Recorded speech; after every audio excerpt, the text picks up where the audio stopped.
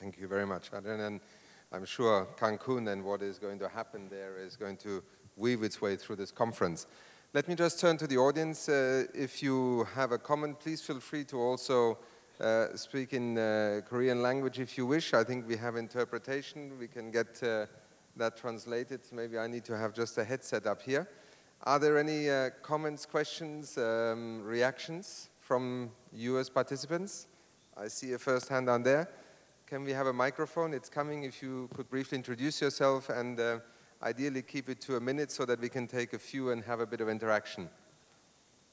Hi, good morning. My name is Tina Quizan, and I'm here from Hawaii. And this is addressed to uh, Club Rome Ezra. Is that how you say your first? name? Yes.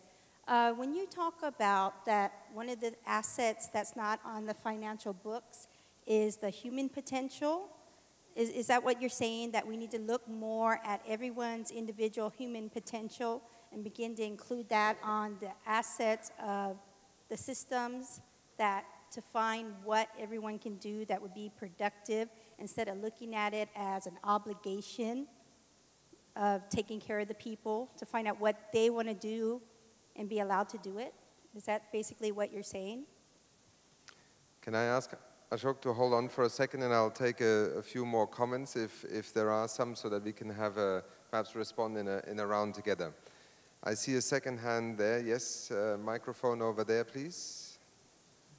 And um, I will move to the left. Yes, I've seen you. Thank you. My name is Chris King. I'm with eMeter Corporation, and this is for Could Angelina. you speak up a little bit louder because we have uh, not such good uh, sound up here, at least, yeah. Can you hear me now? okay. Yeah, my name is Chris King. I'm with eMeter Corporation, and this question is for Angelina. You mentioned the smart grid and I was just wondering what your vision was for how the smart grid fits with renewable energy and promotes the implementation and adoption of that. Understand. Can you hold on? I'll, I'll come back to you, yeah? Just take a note. Um, then I had a question here, gentleman behind the camera. My name is Ram Nidumolu. I'm the CEO of a company called InnovaStrat. We provide advisory services to the global 500 corporations in particular taking advantage of sustainability-based opportunities. And I think the, there's one key thing that I think was missing from this panel discussion, and uh, that's the crucial importance of building a business case, assisting businesses in building the business case for sustainability. And uh, I think uh, if you see a lot of hesitation, I guess when you talk of vested interests and mindsets and so on, I think many of these things come down to not having that clarity in terms of the business case. And uh, once that case is built, steps are made to improve that, I think you would see a lot of movement. Thank you very much. Any more comments? Yes, gentleman here in the middle. Microphone, please. Here. Don't run away. Hello? Microphone here. next block. Next block. Yeah, the gentleman here. Thank you. Mike, uh, I'm from. Sorry, microphone is not on. Can we have? Now it's on. Please speak loudly. uh, I'm Rahul Kar from KPMG. Uh, Mike, uh, my question to you was: You mentioned about valuation, uh, and valuation is not possible in the short term quickly.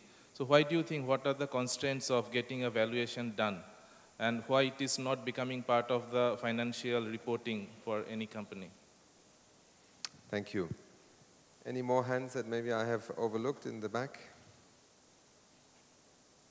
Please shout if I'm not seeing you. If I don't have any more hands, then I'll go back to, to our panel.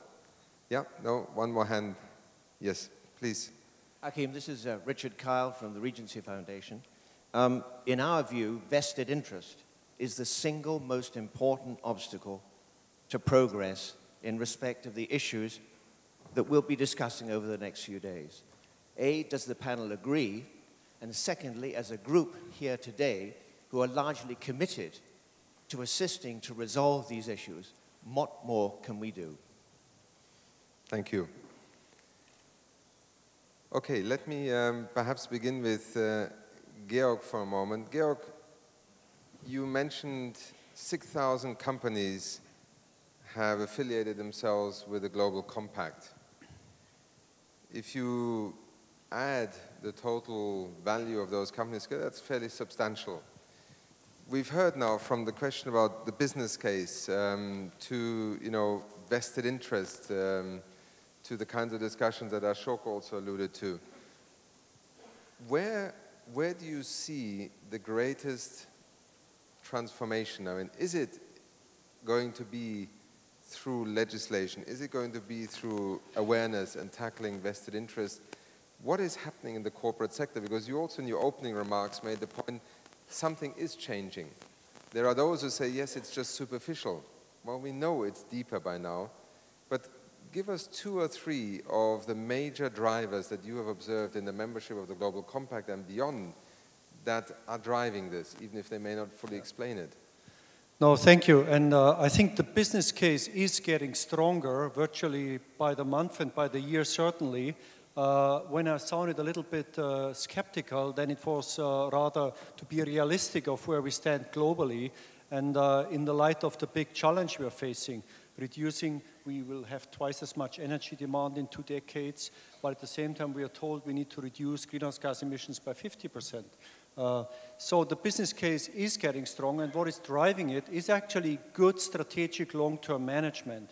Those business leaders, and many of them are indeed here, who understand, who want to be in the business over time and for the long run, they anticipate future trends and they factor them into current investment decisions and allocations. And if you look into the future, then you must realize that natural resource scarcity, energy efficiency, the need for radical innovations, for new solutions uh, to grow poverty on the bottom of the pyramid into opportunities is obvious. But how do you make it happen is, of course, a challenge that every sector has to face. And luckily, there's a lot of innovation happening, and technology is indeed, I believe, the key for many of the challenges. So, in short, it is strategic, long term orientation. The question then is why is the world not yet collectively more in the long term wisdom search for wisely allocating resources and evaluating current performances and returns?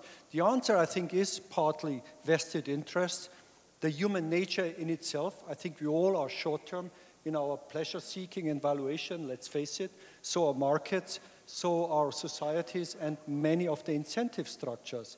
So we have a huge challenge in moving the incentives actually towards rewarding performance over time uh, financial market reform is important.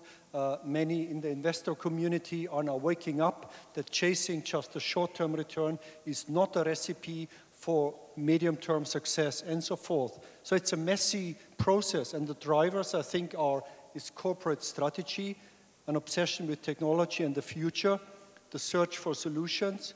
Uh, barriers are plenty, perverse incentives, disconnect from one country to another.